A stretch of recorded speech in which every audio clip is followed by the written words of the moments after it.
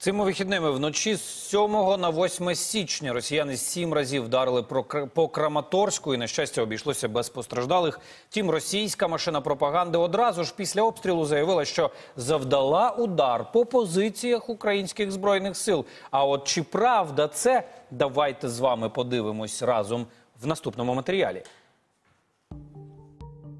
Не встигло закінчитися так зване путінське перемир'я, як у Краматорську пролунала серія вибухів. За словами голови Донецької обласної військової адміністрації Павла Кириленка, росіяни зруйнували освітній заклад, промисловий об'єкт та гаражний кооператив. Втім, Роззмі та пропагандистські пабліки почали розганяти зовсім іншу інформацію. Средствами разведки вскрыты и достоверно подтверждены пункты временной дислокации украинских военных. В общежитии номер 28 в Краматорске находились более 700 украинских военных и в общежитии номер 47 более 600 украинских военных. В Краматорске уничтожено более 600 военных.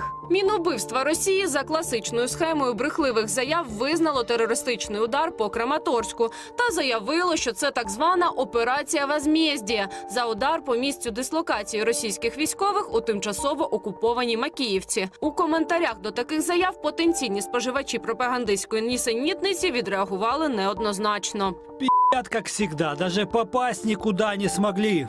Макеевку видели все, а об возмездии только слова. Давайте видео, пожалуйста. Ровно 600 ЗБС, глаз за глаз типа, еще 600 Хаймарсов и 600 Зеленских. На такі фейки від Росії одразу відреагували і в Україні. Мер Краматорська Олександр Гончаренко опублікував відео з наслідками обстрілу. Ракети влучили по території поряд з цивільними будівлями, від чого в них повибивало вікна. Він зазначив, що обійшлося без жертв. До спростування долучився і речник східного угрупування військ полковник Сергій Череватий. Заява росіян про ураження військовослужбовців ЗСУ у Краматорську є поганою спробою відбілити провали власного військового керівництва і належить до тієї ж категорії фейків, що й по кілька разів знищені ними українські хаймарси або сили ППО. Новина про російську брехню швидко облетіла іноземні змі. Першим перевірив місця у Краматорську, по яких нібито вдарили росіяни. Італійський журналіст Ля Републіка Даніеле Ренері. Він підтвердив, що російські ракети не влучили в ціль. Фінський журналіст видання Йле Анті Куронен з місця подій також не підтвердив російську версію. Росія стверджує, що вбила сотні українських військових під час ракетного удару по цій школі в Краматорську. Я там і трохи дивно, що будівля навіть не утеплена.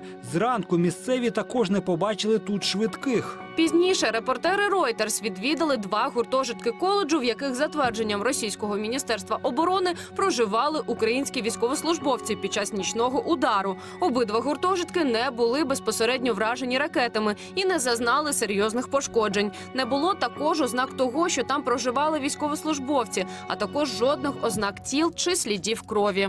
Та вибух і вибух Вікна задребіжали, а потім їх вже серія була. Ну, один з них і був. Вот я живу в этом доме. Вон, Посмотрите, что в домах сделано. Все окна повылетали. 23 19 все. Вот пройдите вот там по аллее и увидите. Время я не могу точно сказать, но вечером два раза сильно прямо ожог задрожали.